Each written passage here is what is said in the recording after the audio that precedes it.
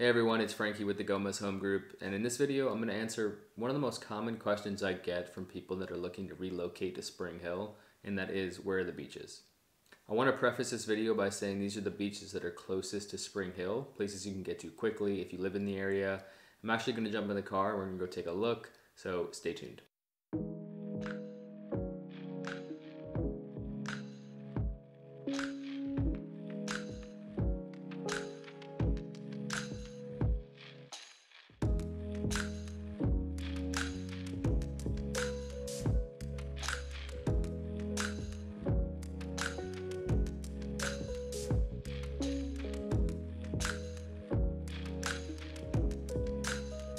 Our first stop is Pine Island Park. It took me about 20 minutes to get here from where I live in Spring Hill, so that's probably going to be where you're going to, you know, be at no matter where you are. Um, but this is a three-acre waterfront park in Hernando County.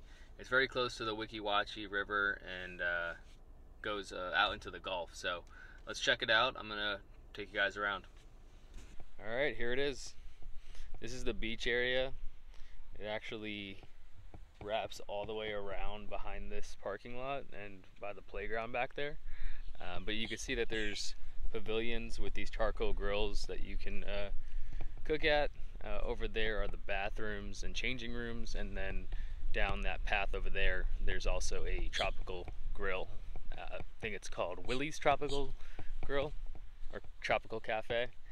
Um, but yeah, if you're looking for somewhere to tan or just relax, Sunsets are beautiful here. There's a little boardwalk type thing over there.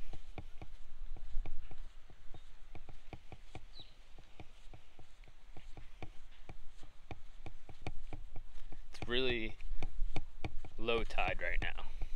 So this water will actually come up higher, but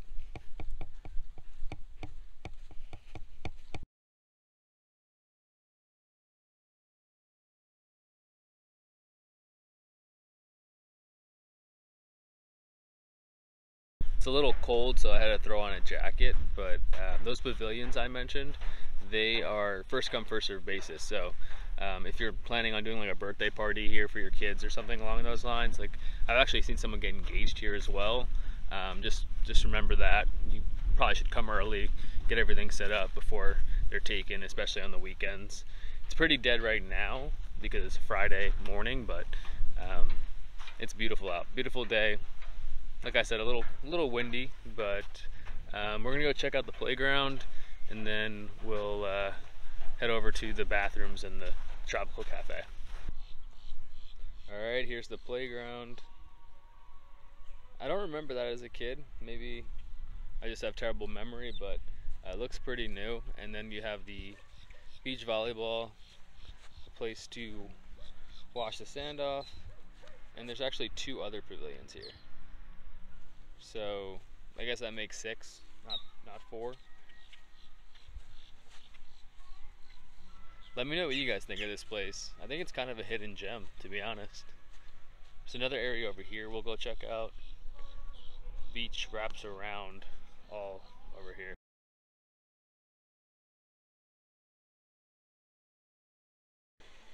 Excuse the construction, there's actually a new house going up right there. Maybe one of you will buy it. We'll see. This is the cafe I was talking about. Really cool seating area. It's cash only, which is weird because to get in it was $5 and it was card only. But there is an ATM.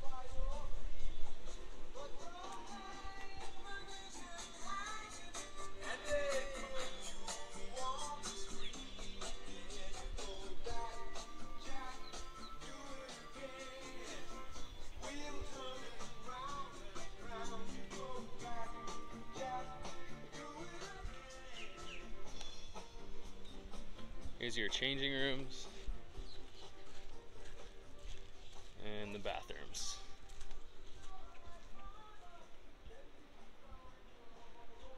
Before we head out, just had to show you guys this little spot up here. They say you can see manatees and tortoises. Obviously not right now, but you will see a lot of manatees, especially on the Weeki Wachee River here. But um, I've never seen them here, but I also don't come here that often. But after coming here now, I think I'm going to start.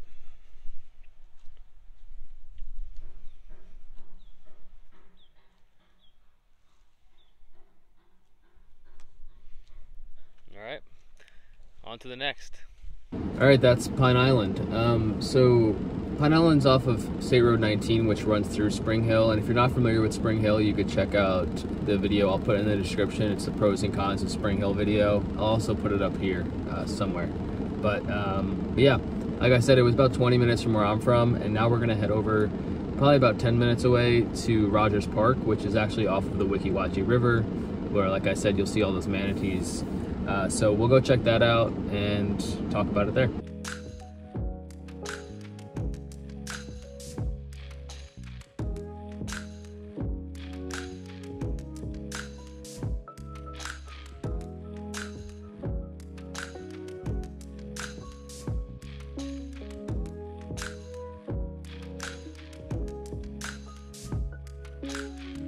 All right, we are here. This is Rogers Park.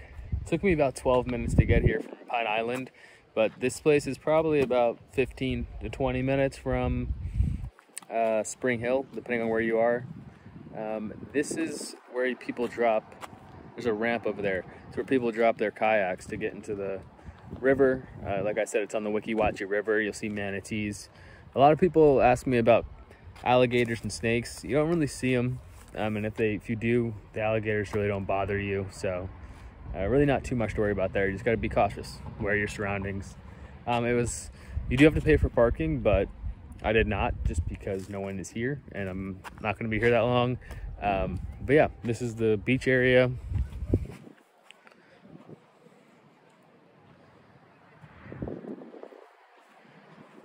There's some volleyball courts and a playground over there. I'm gonna flip the camera around so I can show you a little bit more. It's a little bit of a better view.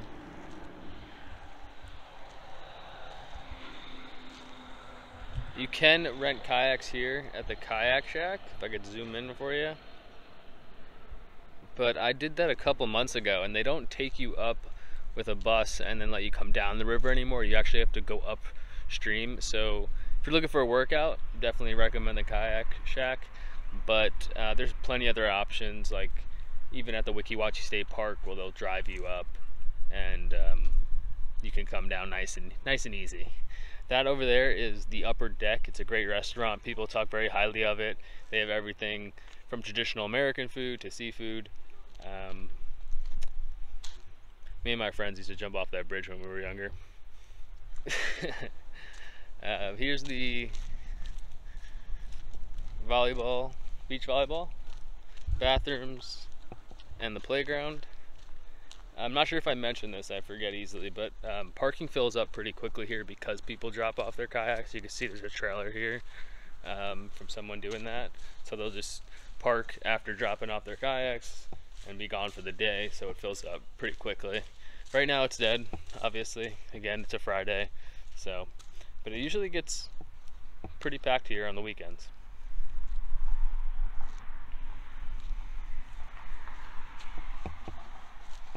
Here's another restaurant.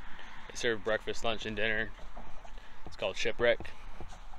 I actually haven't tried it. If you have, let me know what you think.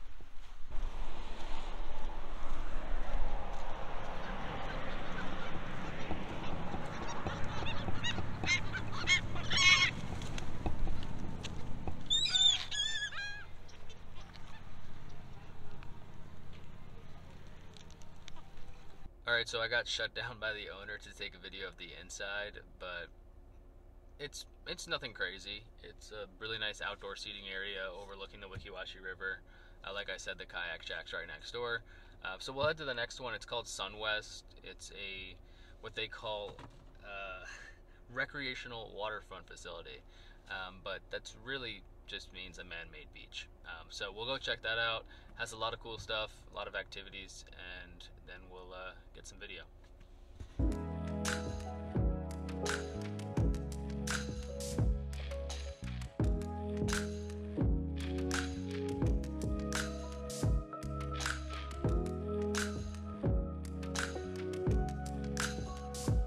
All right, so our third stop's in Hudson, Florida. It's at Sunwest Park and it's still only about 20 minutes from Spring Hill. Um, but yeah, it's a pretty much a spring-fed lake with a huge beach around it. A lot larger than Pine Island and Rogers Park. Uh, there's a lot to do here.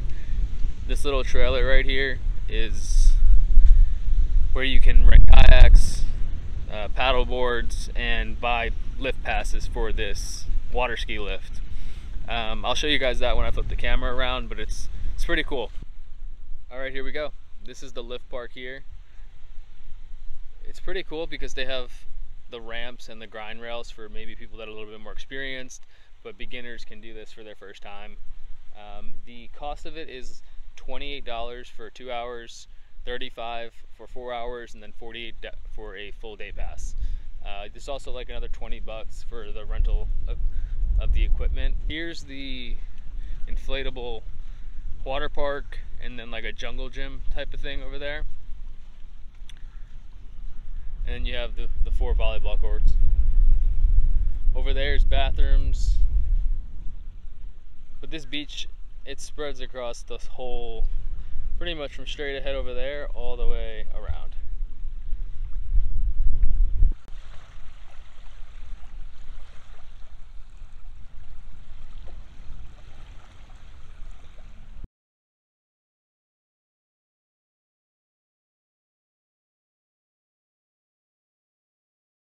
And here we have some more bathrooms and some picnic tables to get some shade, chill out.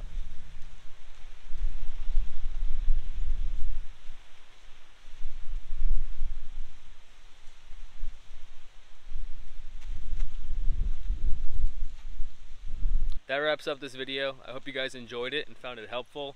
I think it gives some insight into some of the beach life that Hernando County has to offer.